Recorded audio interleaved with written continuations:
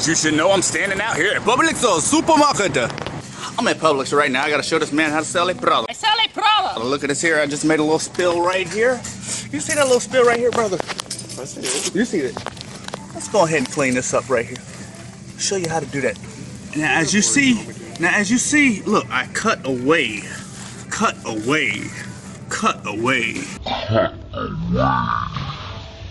cut away, and it's clean, brother. Oh, I got a little more spots over here. And that, my brother, is how you sell a product.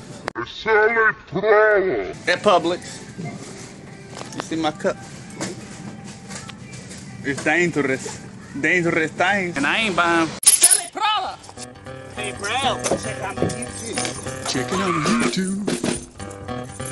Check out my YouTube. Check out my YouTube. I almost died.